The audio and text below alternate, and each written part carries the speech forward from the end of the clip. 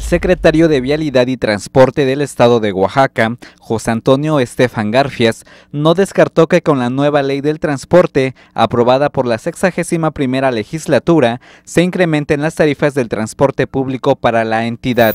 En algunos casos, como son las rutas, eh, digamos, comunitarias que bajan de lo rural hacia municipios, pues hay un criterio para poder establecerlos y hace 10 años no pedían un aumento, pero no pedían un aumento porque lo daban ellos en automático, ahorita que se les está deteniendo porque aplican una tarifa que no es autorizada, entonces la solicitan o hay quienes hace tres años se les incrementó y quieren hacerlo dentro de la ley y presentan una solicitud sin incrementar la tarifa. Entonces es, variable. Señaló que la ley no contempla un periodo determinado para el incremento de las tarifas. Sin embargo, todo crece anualmente y si se pensara como economistas, se haría de acuerdo al crecimiento económico del país. Pues la economía aumenta, aunque sea 2%, 3% todos los años. Entonces es dos criterios, o establecer en el reglamento un criterio de quinquenios, por ejemplo, o un criterio de bianualidades.